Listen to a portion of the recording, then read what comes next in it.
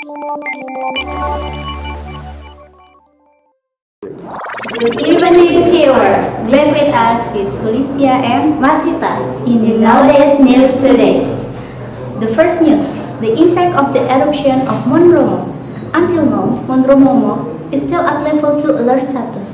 The potential for quake and eruption is always there.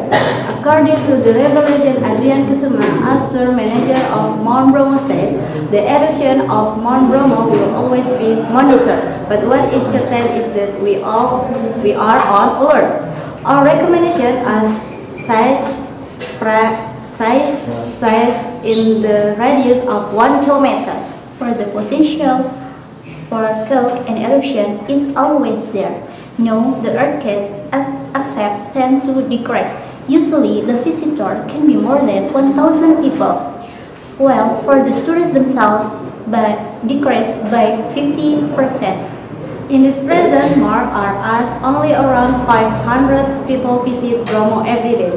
The end of school holiday of school, of school holiday is also the return of the decrease of tourists. The second news, Indonesia picks Borneo Island a site of new capital. Indonesia capital city is to be relocated of, of to the province of Kes Kalimantan on the island of Borneo.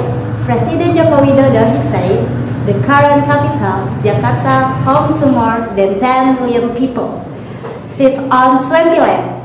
Part of the sinking are as much 10 in 10 and almost half just sits below sea level, sea level part of the political power. The new city will straddle relatively developed regions, Kutai Kartanegara and Penajam Paser Utara. The ambition project will cost 466 trillion rupiah.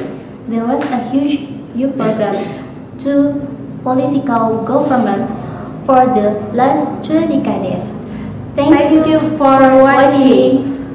I'm Solis Masita. Bye bye. bye.